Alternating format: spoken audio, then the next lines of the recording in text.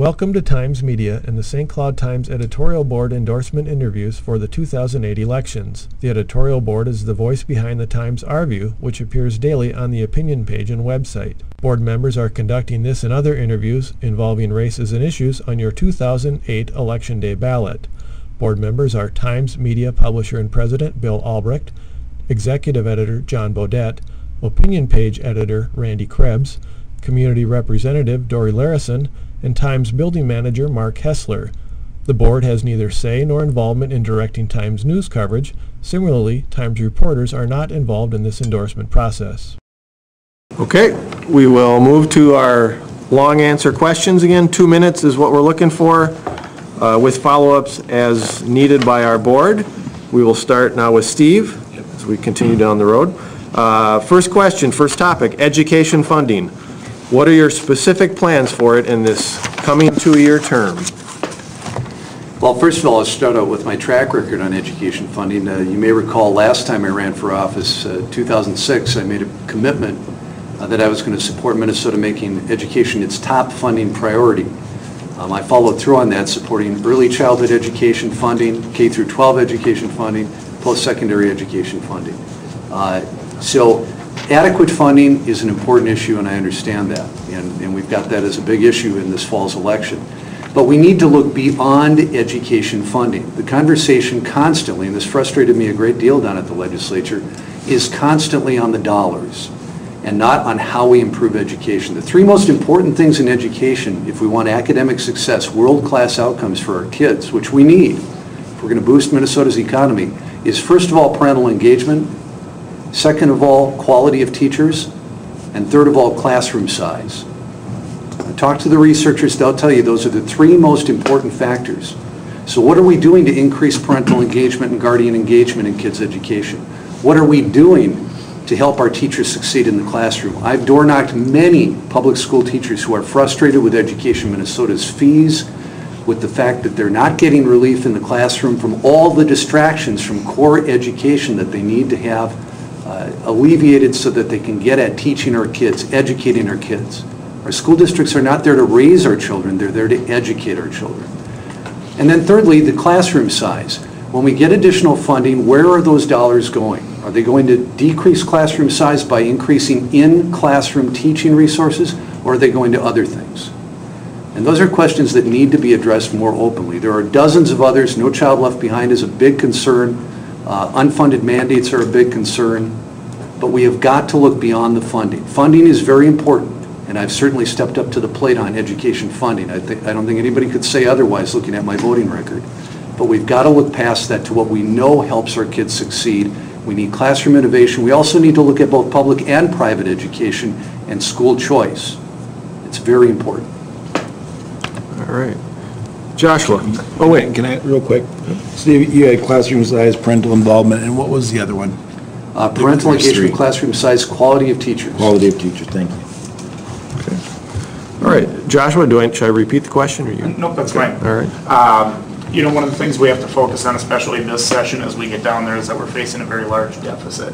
Um, And I am one who believes that, that education is not one that should be cut uh, when we're looking at, uh, at fixing this budget issue.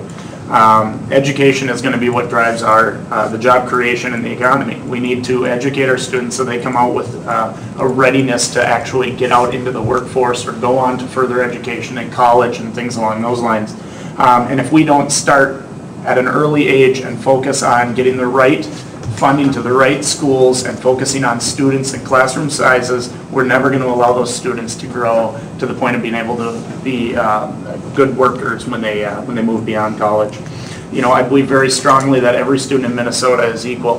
Um, I know people differ on that, but I don't think our students in St. Cloud deserve a per pupil number less than those in Minneapolis and St. Paul. I think every student from every different town has the opportunity to grow and do the best for their life. We see some of the, um, some of the most successful people in the country have come out of small towns. And if we, if we diminish what their capabilities are in education, they're never going to get the opportunity that, uh, that students in, in bigger schools might. Um, I also believe very strongly in parental involvement.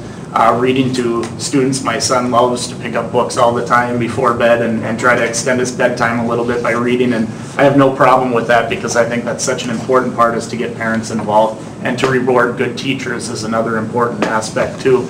Um, I've had many teachers that have, uh, that I've talked with. I've had teachers that have walked in my, in the parade uh, and volunteered on the campaign. And um, they're good teachers, and they deserve to be rewarded for the good work that they're doing. Um, If a teacher has, uh, is not performing up to the standards, they should be given the, um, given adequate review and constructive criticism, and then moved, uh, moved on from that point if, uh, if things don't improve, just like in private sector business. Thank you. Okay. Any follow-ups? Okay, Larry? Uh, Thank you. As you noticed in my introduction, um, I originally was a teacher. Uh, I have a certificate in teaching. Have majors in mathematics and and biology, and uh, I enjoy teaching and I enjoyed coaching a great deal. I also have five family members that are involved in uh, teaching, from special education all the way to college. Our system is a- a built up a little upside down right now. Uh, we have a constitutional requirement that we're supposed to be providing equal education to our students. But our school districts are not equal. Our school district uh, has, since when I started, from 18% to 23% in special education requirements. I carried, and yes, across the party line, I ca- I carried a bill uh, to help that underfunded mandate. But that's a stopgap. We need a revamping of our whole system. We have 300 of our 340 districts under, um, under special levy going to our tax base. Those should be switching, those cores should be switching to the responsibility of the state. And if that requires that we raise the tax to do that, that we cause wiggle room, then we should do that. Passing it down to the property tax is not a no new tax pledge. I want excellence, but I want fairness. And I want fairness for 742 and the other core uh, school districts that are having difficult making it because of the unequal challenges. Any follow-ups? Joanne? There Oh, will be, wait. but not yet. Okay, that's fine, that's good. Sorry. No pro- I would uh, move Minnesota to a way of funding schools that reflects the real needs of students. Uh, We have, set- we have many mandates, we have hopes and dreams and aspirations for our students, we have goals. We need accountability, that we are reaching the standards that we set for our students. At the same time, we also have to realize that not every student in Minnesota is the same, but every student in Minnesota deserves an equal opportunity to to achieve. And we're, we have trouble facing that right now. We, you know, students in special education, of course, are more expensive. They have difficulties learning. Students learning English, we need to spend some time teaching them English so they can achieve. So there are different factors and cost, and I would work with the formula to reflect that. There's been a proposal at the end of last session that was a good proposal uh, that should be out on the floor for discussion and uh, compromise as needed. Um, So, sorry. Um, Uh, our funding in Minnesota has not kept up with the mandates or with inflation. And we do have 300 out of 340 districts with levies. These levies, I can assure you, are not asked for because it's fun to ask for a levy. They're not asked for because we want to throw money out the window. They're they're asked for because we feel they're necessary for the basics of education. It's the constitutional responsibility of Minnesota to provide that basic of education for every student. In the meantime, we can also look, so we should, we should evaluate our mandates. Do we need those? Are they, and if we, if we require them, we should pay for them as a state. We shouldn't expect local districts to pay for mandates.